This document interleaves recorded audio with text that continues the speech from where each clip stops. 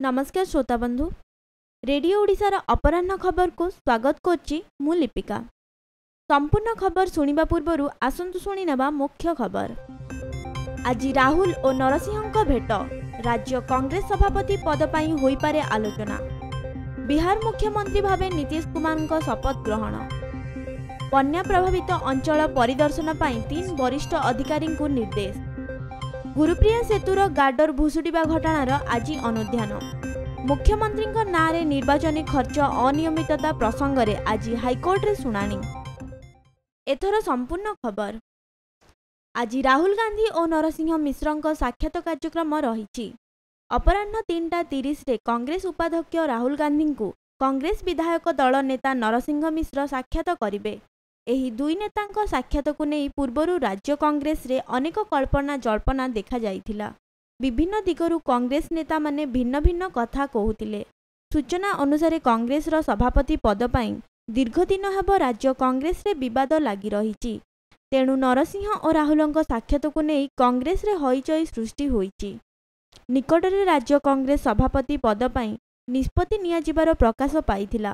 ରାହୁଲ ଓ ନରସିଂହ ଏ ବିଷୟରେ ଆଲୋଚନା କରିପାରନ୍ତି ବୋଲି ସୂଚନା ମିଳିଛି।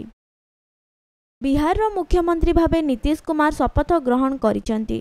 ଆଜି ବିହାର ରାଜଭବନରେ ସେ ଷଷ୍ଠ ଥର ପାଇଁ ମୁଖ୍ୟମନ୍ତ୍ରୀ ଭାବରେ ଶପଥ ଗ୍ରହଣ କରିଛନ୍ତି। ବିଜେପିର ସମର୍ଥନରେ ସେଠାରେ ସରକାର ଗଠନ ହୋଇଛି। ଜେଡିୟୁ ବିଜେପି ମେଣ୍ଟରେ ନୀତିଶ ମୁଖ୍ୟମନ୍ତ୍ରୀ ଭାବରେ ଦାୟିତ୍ୱ ନେଇଛନ୍ତି। ଗତକାଲି ସେ ମହାମେଣ୍ଟ ଛାଡ଼ି ଇସ୍ତଫା ଦେବା ପରେ ପ୍ରଧାନମନ୍ତ୍ରୀ ତାଙ୍କୁ ସ୍ୱାଗତ କରିଥିଲେ। ଆଜି ବିଜେପିର ସମର୍ଥନ ପରେ ପୁଣି ସେ ସରକାର ଗଢ଼ିଛନ୍ତି।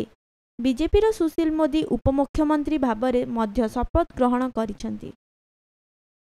ରାୟଗଡ଼ା ଭଦ୍ରକ ଓ ଯାଜପୁର ଜିଲ୍ଲା ବନ୍ୟା ଦ୍ୱାରା ବହୁ ମାତ୍ରାରେ ପ୍ରଭାବିତ ହୋଇଛି। ବର୍ତ୍ତମାନ ସ୍ଥିତି ଅନୁଧ୍ୟାନ ପାଇଁ ତତ୍ପର ହୋଇଉଠିଛି ପ୍ରଶାସନ। ସେଠାକାର ସ୍ଥିତି ସମୀକ୍ଷା ପାଇଁ ତିନି ଜଣ ବରିଷ୍ଠ ଅଧିକାରୀଙ୍କୁ ମୁଖ୍ୟମନ୍ତ୍ରୀ ନିର୍ଦ୍ଦେଶ ଦେଇଛନ୍ତି। ସୂଚନା ଅନୁସାରେ ଉନ୍ନୟନ କମିଶନର ଆର୍. ବାଲକ୍ରିଷ୍ଣନଙ୍କୁ ଯାଜପୁର ଜିଲ୍ଲା ଦାୟିତ୍ୱ ଦିଆଯାଇଛି। ସେହିପରି ଜଙ୍ଗଲ ଓ ପରିବେଶ ବିଭାଗ ଅତିରିକ୍ତ ସଚିବ ସୁରେଶ ମହାପାତ୍ରଙ୍କୁ ଭଦ୍ରକ ଓ ଗୃହ ବିଭାଗ ଅତିରିକ୍ତ ସଚିବ ଅସିତ ତ୍ରିପାଠୀଙ୍କ ଉପରେ ରାୟଗଡ଼ା ଜିଲ୍ଲା ଦାୟିତ୍ୱ ନ୍ୟସ୍ତ କରାଯାଇଛି। ଏହି ଅଧିକାରୀମାନେ ଜିଲ୍ଲାମାନ ଗସ୍ତ କରି ସେଠାରୁ ଫେରି ରିପୋର୍ଟ ପ୍ରଦାନ କରିବା ନେଇ ସୂଚନା ମିଳିଛି।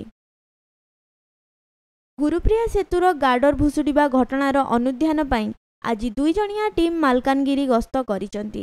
ଏହି ଦୁଇଜଣିଆ ଟିମ୍ରେ ପୂର୍ତ୍ତ ବିଭାଗର ମୁଖ୍ୟ ଯନ୍ତ୍ରୀ ଓମ୍ ପ୍ରକାଶ ପଟେଲ ଓ ନିର୍ମାଣାଧୀନ ଯନ୍ତ୍ରୀ ଏନ୍ସିପାଲ ରହିଛନ୍ତି।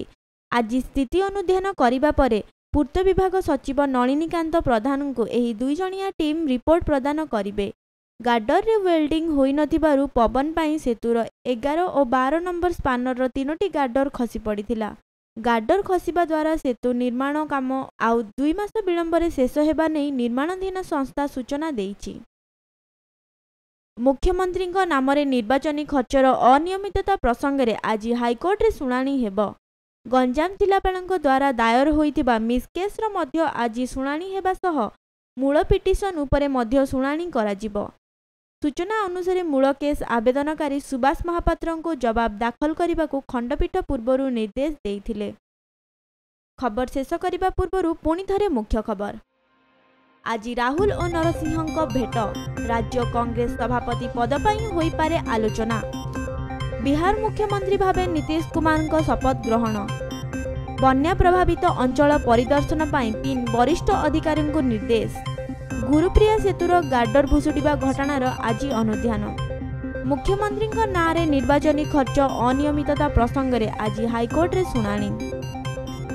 ଅପରାହ୍ନ ଖବରକୁ ଏଇଠି ରଖୁଛୁ। ଅଧିକ ଖବର ଜାଣିବା ପାଇଁ ଲଗ୍ଇନ୍ କରିପାରିବେ ଆମର website W W W dot radio Odisha dot com ନମସ୍କାର।